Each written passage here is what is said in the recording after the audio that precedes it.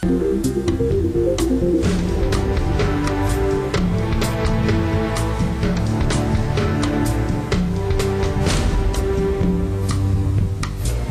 upon a time in the days of the Raj, the sun rose and sparkled over the jewel of the east.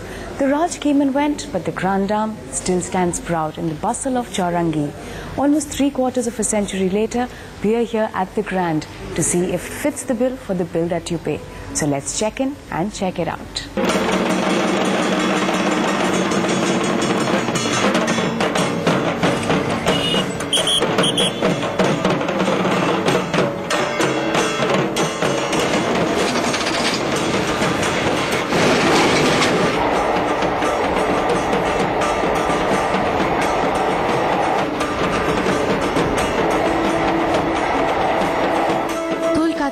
Formerly Calcutta, was the first capital of the Raj.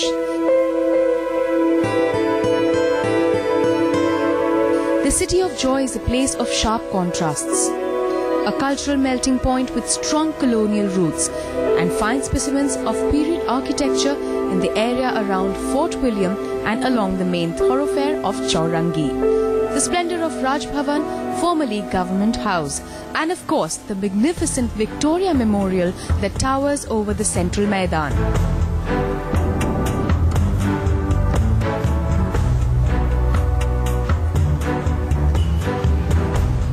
Most of Kolkata's early building developments took place in the first half of the 19th century. One such building is the Grand Hotel.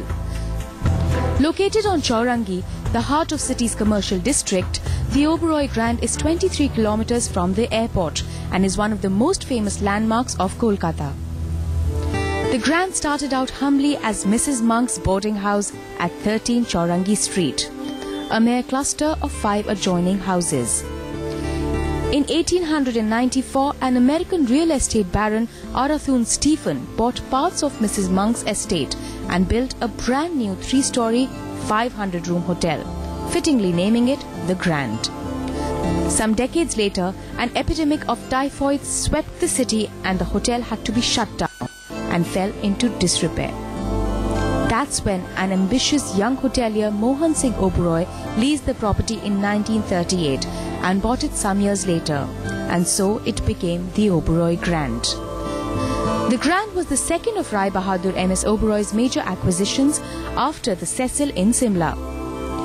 During the Second World War, the hotel had a full house, accommodating 2,000 Allied soldiers. The Grand Dame of Chaurangi, once ranked as the four jewels of the East alongside the Oriental in Bangkok, the Raffles in Singapore, and the Strand in Rangoon, may not enjoy the same status today, but its admirers and loyalists are legion. For many in Kolkata, this is the only best hotel in the world. The Oberoi Grand's unassuming street entrance with its neoclassical facade and pillared entrance is part of the city's heritage.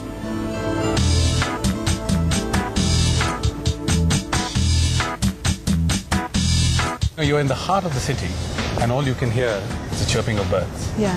The hotel is divided into uh, four sections, four wings. Yeah. That is the Chaurangi wing, Chaurangi wing. Yeah. and that was primarily the initial wing uh, of the hotel. All right.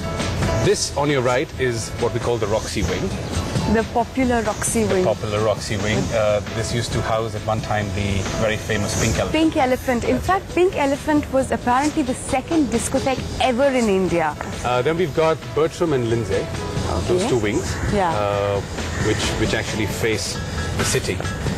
This pool Yes. earlier was apparently not a pool. It's been No, uh, this was an uh, open air restaurant called Shehzad.